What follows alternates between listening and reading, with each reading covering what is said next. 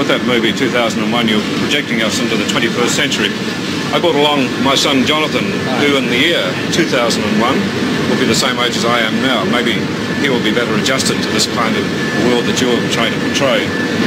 The big difference when he grows up, in fact, if we wanted to wait for the year 2001, is that he will have in his own house, not a computer as big as this, but at least a console through which he can talk to his friendly local computer and get all the information he needs for his everyday life, like his bank statements, his theater reservations, all the information you need in the course of living in a complex modern society. This will be in a compact form in his own house.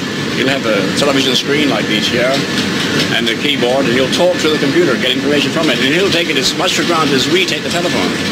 I wonder though, what sort of a life would it be like in social terms? I mean, if our whole life is built around the computer, do we become a computer-dependent society and computer-dependent individuals? In some ways, but they'll also enrich our society because it'll make it possible for us to live really anywhere we like.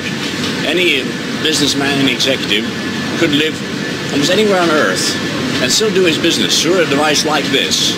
And this is a wonderful thing. It means we wanted to be stuck in cities, we better live out in, in the country or wherever we please, and still carry on complete interaction with human beings as, as well as with other computers.